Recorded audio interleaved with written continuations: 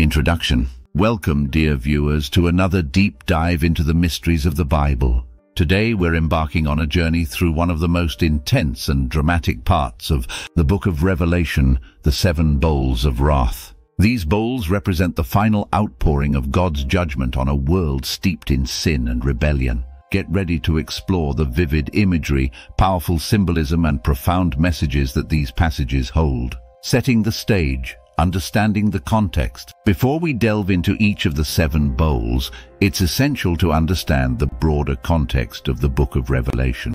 Written by John of Patmos, Revelation is a prophetic vision given to him by Jesus Christ. It reveals the ultimate triumph of God over evil, the final judgment, and the establishment of a new heaven and new earth. The seven bowls of wrath are part of a series of judgments that include the seven seals and seven trumpets. These judgments intensify as they progress, leading to the final and most severe, the seven bowls. They are found in Revelation 16, a chapter that vividly describes God's unrestrained wrath against a rebellious world. The first bowl, painful sores.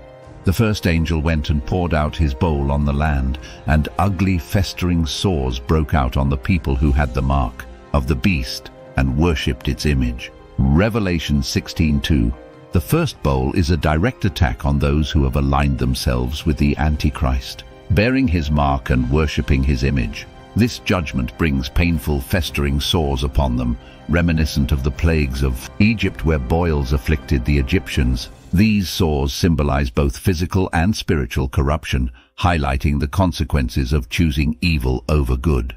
The second bowl sea turns to blood. The second angel poured out his bowl on the sea, and it turned into blood like that of a dead person, and every living thing in the sea died. Revelation 16.3 The second bowl impacts the sea, turning it into blood and causing the death of all marine life. This plague mirrors the first plague of Egypt, where the Nile turned to blood. The sea, often seen as a source of life and sustenance, becomes a symbol of death and destruction. This transformation signifies the complete and utter devastation that comes from divine judgment. The third bowl, rivers and springs, turned to blood. The third angel poured out his bowl on the rivers and springs of water, and they became blood. Revelation 16:4.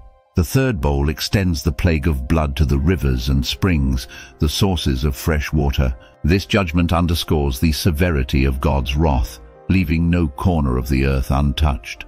The angel of the waters proclaims the righteousness of God's judgment, declaring that those who shed the blood of saints and prophets now have blood to drink as their just punishment. The fourth bowl, scorching sun. The fourth angel poured out his bowl on the sun, and the sun was allowed to scorch people with fire. They were seared by the intense heat and they cursed the name of God who had control over these plagues, but they refused to. Repent and glorify him. Revelation 16:8-9. The fourth bowl intensifies the heat of the sun, causing immense suffering as people are scorched by its fiery rays. Despite the excruciating pain, they curse God instead of repenting. This plague highlights the hardness of human hearts, illustrating that even in the face of undeniable divine judgment, many remain unrepentant and rebellious. The fifth bowl, darkness and pain. The fifth angel poured out his bowl on the throne of the beast, and its kingdom was plunged into darkness. People gnawed their tongues in agony and cursed the God of heaven because of their pains and their sores, but they refused to repent of what they had done. Revelation 16:10-11. The fifth bowl brings darkness to the kingdom of the beast, causing intense pain and suffering. This judgment echoes the ninth plague of Egypt, where darkness covered the land. The people already suffering from sores now face an additional torment, yet they continue to curse God and refuse to repent.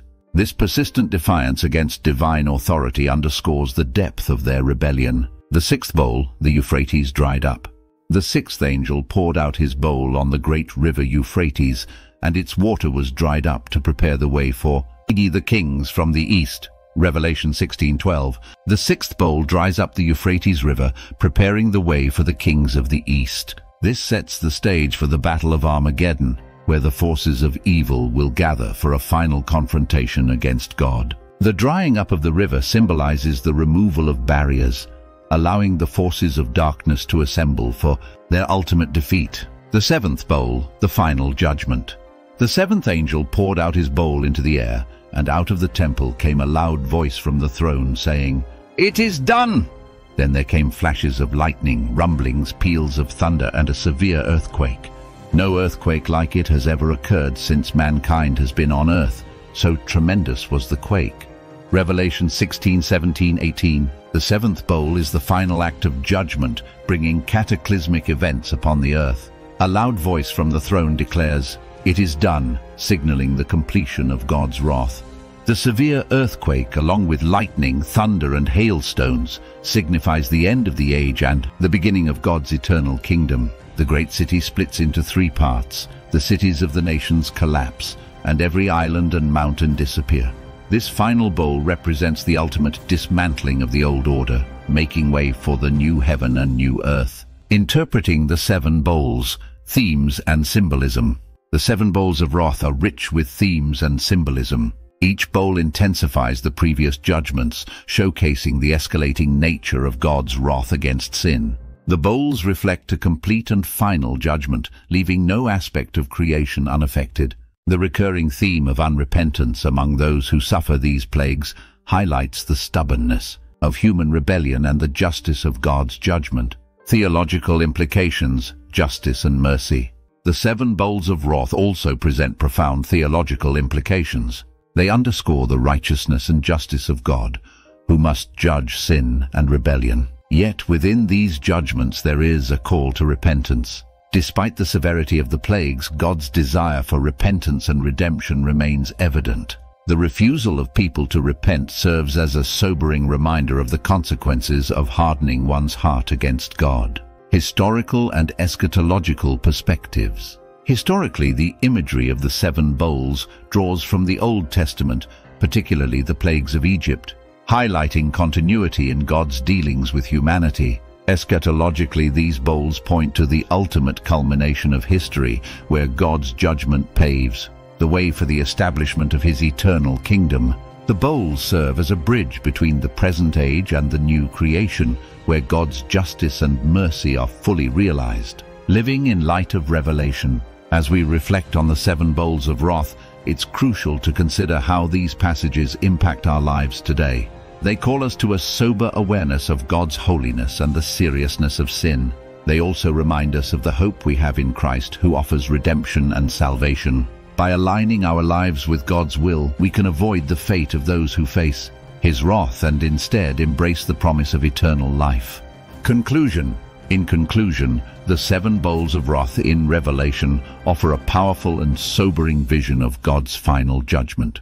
They challenge us to consider the state of our hearts and our relationship with God. As we navigate the complexities of this world, may we hold fast to the hope and redemption offered through Jesus Christ, and live in a way that honors his righteousness and mercy. Thank you for joining us on this journey through Revelation. If you found this exploration insightful, please like, share and subscribe for more in-depth biblical content. Until next time, stay blessed and keep seeking the truth of God's Word.